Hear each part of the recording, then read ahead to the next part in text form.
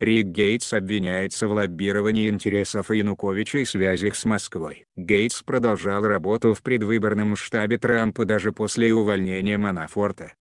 Рику Гейтсу и его давнему коллеге, вашингтонскому лоббисту Полу Манафорту, в понедельник предъявлены обвинения в отмывании денег при лоббировании интересов бывшего президента Украины Виктора Януковича до отстранения последнего от должности в 2014 году.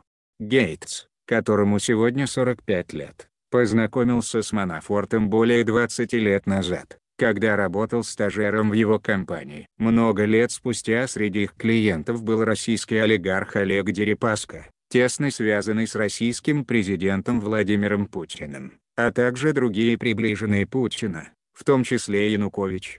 Когда Манафорт начал работать в предвыборном штабе кандидата в президенты Дональда Трампа в 2016 году, Гейтс присоединился к нему и был его заместителем, когда Манафорт возглавлял предвыборный штаб с июня по август прошлого года. Есть фотография, на которой Гейтс запечатлен рядом с Трампом, когда тот готовится выступить на съезде республиканской партии в Кливленде. Гейтс продолжал работать в предвыборном штабе даже после того, как Трамп уволил Манафорта из-за сообщения о крупных платежах который тот получал за лоббирование интересов Януковича.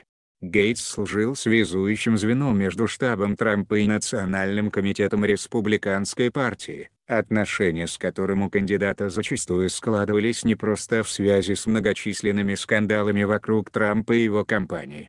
Гейтс ушел из предвыборного штаба до выборов, Однако впоследствии помогал планировать инаугурацию Трампа и вместе с его помощниками создавал организацию America First Priorities, где впоследствии некоторое время работал.